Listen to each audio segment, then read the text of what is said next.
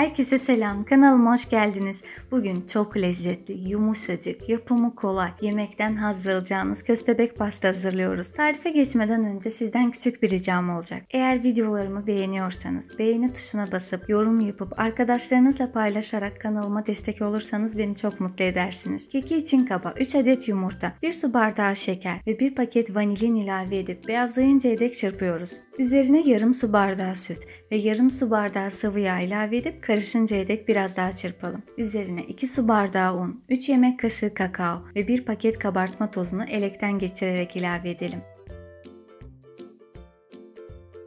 Tüm malzemeler karışıncaya dek çırpalım.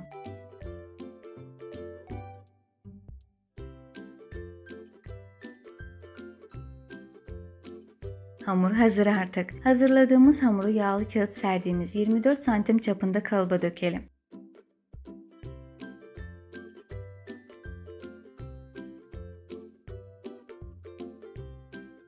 Hamuru eşit şekilde dağıtalım. Kabı 2-3 kez yere vuralım. Önceden 175 derecede alt üst ayarda ısıttığımız fırında yaklaşık 25 dakika pişirelim. Pişmesini bir kürdanla kontrol edelim.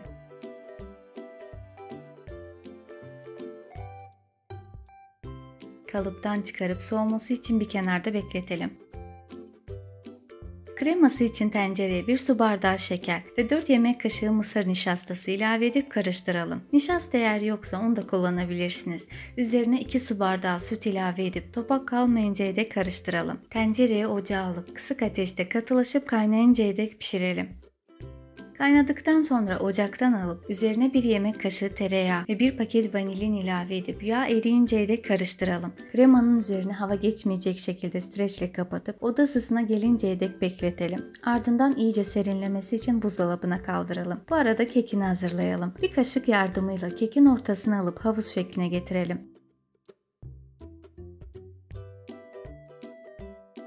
Söylemeden geçemeyeceğim. Kek sanki kadife, yumuşacık, çok güzel. Bu kısımları sonda pastanın üzeri için kullanacağız. Başka bir kapta bir su bardağı soğuk süte bir paket krem şanti ilave edelim. Önce mikserin düşük hızıyla köpükleninceye dek ardından mikserin hızını artırarak katılaşıncaya dek çırpmaya devam edelim. Maksimum 2 dakika içerisinde hazır olur. Süt mutlaka soğuk olmalı. Önceden pişirdiğimiz krema da artık tamamen soğudu.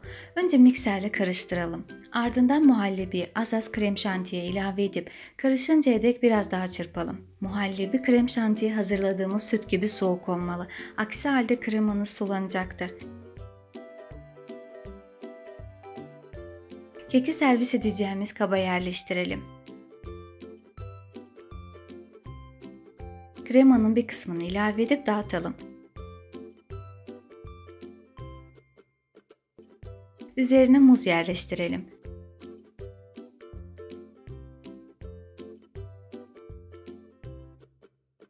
Üzerine tekrar krema ilave edip kümbez şeklini verelim.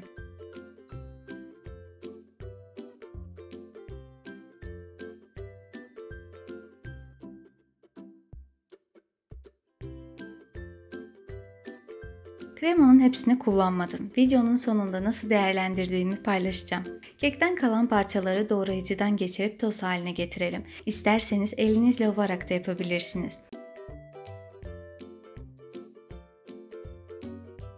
Pastanın üzerine hazırladığımız ovuntuyla kaplayalım. Bu şekilde buzdolabında en az 4 saat dinlendirelim. Ancak en güzeli bir gece dinlendirmeniz. Az önce dediğim gibi kremanın hepsini kullanmadım. Çünkü ovuntudan da kalıyor. Bunları bardaklarda porsiyonluk pasta gibi hazırlayıp servis ediyorum.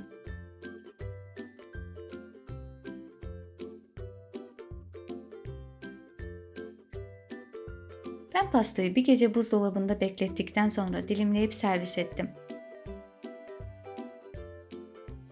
Yumuşacık, çikolata kokulu kekiyle, muz aromalı, dondurma gibi kremasıyla yemekten haz alacağınız nefis bir pasta oldu.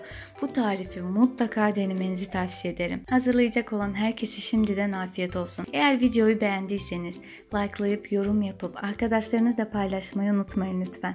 İzlediğiniz için teşekkürler. Hoşçakalın.